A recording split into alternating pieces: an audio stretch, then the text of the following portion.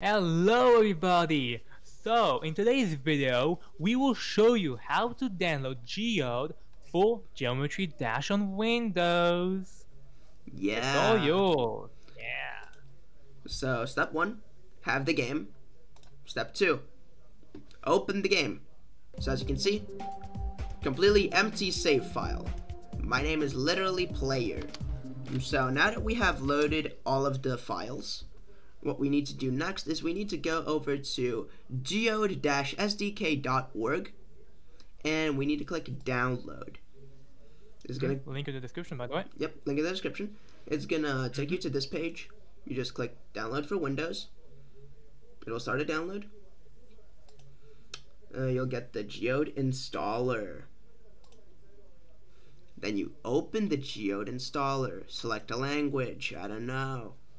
Whichever one works for you. I'm gonna be using English for this. You click next.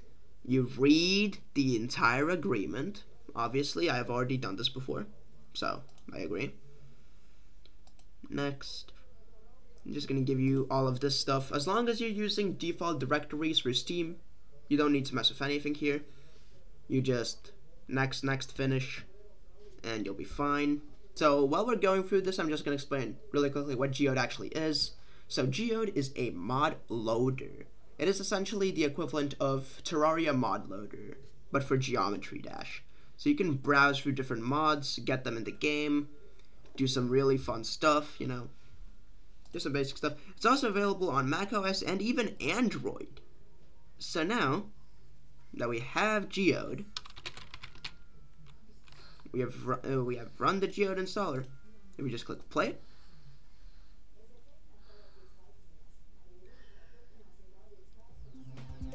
We're in. You'll see this new icon. I'm going to be lowering the volume of the game music. Mhm. So you will now be getting Geode.